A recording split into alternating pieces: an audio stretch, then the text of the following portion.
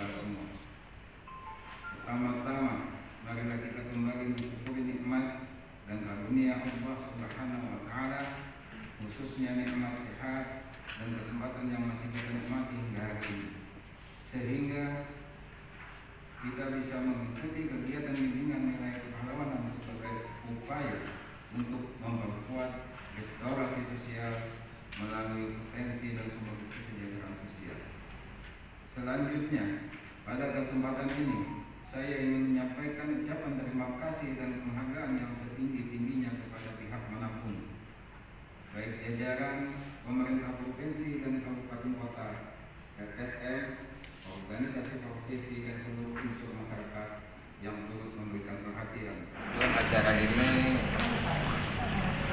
didasari oleh ya pertama memang kegiatan rutin dari bidang pendidikan sosial melalui seksi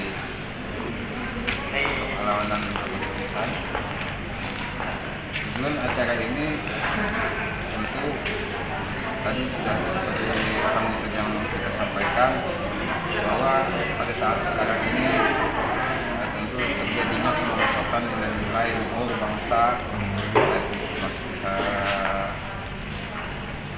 nilai-nilai gotong royong dan terjadinya intoleransi dalam kehidupan sosial nah pada dasarnya dengan mendasari itu kita eh, mengadakan acara ini. Kan menarik nih Pak, kan melibatkan ah, tokoh-tokoh sama guru dan kepala sekolah nih. Mungkin diharapkan mereka menerapkannya di anu ya, sifat gotong royong, Iya, Ah, mudah-mudahan setiap kawanan. dengan acara pada hari ini ini nanti akan terjadi diskusi-diskusi yang bisa menghasilkan eh, setidaknya pemikiran-pemikiran untuk eh,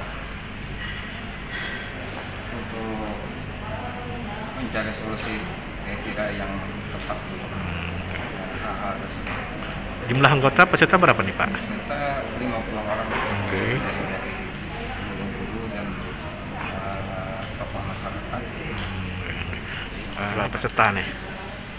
Eh, Alhamdulillah kita sebagai pendidik atau guru mendapat undangan dari dinas sosial dalam rangka restorasi sosial membangkitkan kembali nilai-nilai kepahlawanan ini adalah suatu hal yang sangat eh, positif dan kita sangat eh, mendukung sekali kegiatan ini.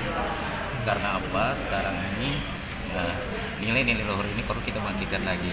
Nah salah satu cara program yang dilakukan oleh dinas sosial ini adalah salah satu langkah nyata yang harus dilakukan. Apalagi kita di era globalisasi ini itu sangat rentan pengaruh-pengaruh luar itu masuk ke eh, ke apa mempengaruhi nilai-nilai yang ada di di negara kita sendiri jadi ini adalah sangat eh, penting dan sangat bermanfaat bagi khususnya tokoh masyarakat kepada guru untuk menyebarluaskan lagi pada anak didik dan masyarakat yang lain. Apa yang akan dilakukan kepada anak didiknya nanti Pak? Nah, dan nantinya tentunya kita akan menyampaikan apa yang kita dapat di sini tentang nilai-nilai kelurahan itu apa saja yang harus kita munculkan kembali.